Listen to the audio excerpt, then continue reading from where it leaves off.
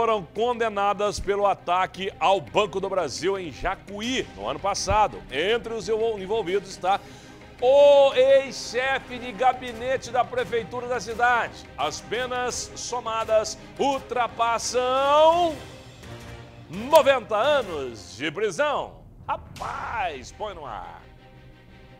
A decisão é de primeira instância e ainda cabe recurso. Segundo a Justiça, seis pessoas foram condenadas pelo ataque ao Banco do Brasil em abril de 2021 em Jacuí.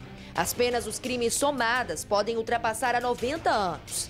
Entre os condenados está o ex-chefe de gabinete da prefeitura da cidade.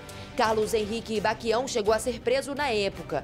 Segundo a Polícia Civil, ele e outro suspeito prestaram todo o apoio logístico para a quadrilha, fazendo o levantamento da agência e fotografias, além de recepcionar os criminosos e dar apoio à fuga.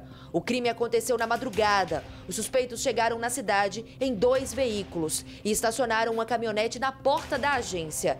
Segundo a polícia, quatro criminosos entraram no banco e os comparsas deram cobertura. Na sequência, explosões começaram dentro da agência. Houve ataque na polícia militar durante a ação.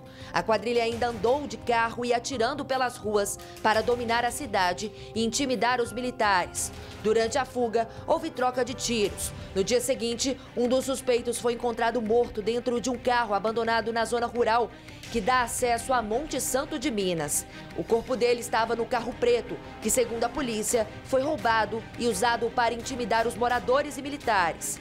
O segundo veículo, uma caminhonete branca que aparece nas imagens, também foi abandonada no local. Tudo bem, você vai vendo aqui que barbaridade, hein?